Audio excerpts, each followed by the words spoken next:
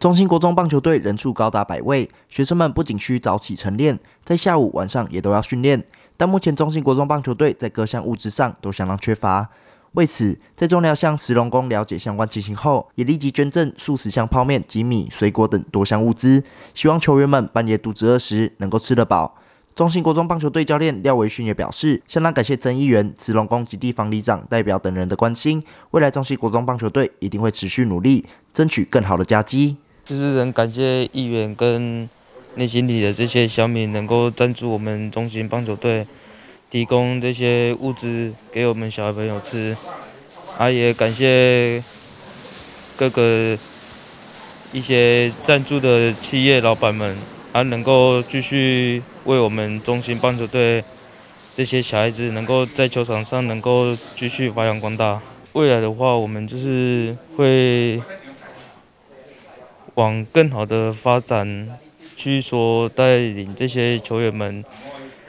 为南投打一些美好的成绩。先员曾正也表示，中心国中棒球队经费较不足，加上球员数多，在各项物资上都相当缺乏，球员们平时半夜肚子饿时都没有东西吃。这次也深深感谢中寮乡石龙宫对于球员们的关心，未来也会持续努力，向各善心人士及企业大力争取资源，补充球队各项物资。感谢咱中寮九龙宫送差不多六十几箱的泡面，然后咱的中国中棒球队啊，将温暖输送给需要温暖的人。因为咱的棒球队呢，囡仔有差不多百位，啊，这拢中国中的的囡仔呢，拢长得大，拢超十五六岁啊，长得大，啊，因拢规工眠无眠，日无日拢伫运动，啊，这个暗时啊呢，不多枵，啊，所以讲我就向各界的单位咧。来甲甲无即个泡面，或者亲人朋友食。即个囡仔有超百位，啊，咱爱国家未来主人翁，身体甲顾养顾好，啊，互伊成绩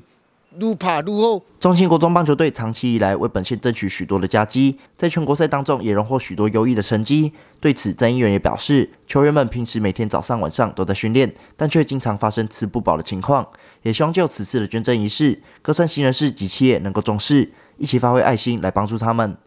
记者熊俊南投采访报道。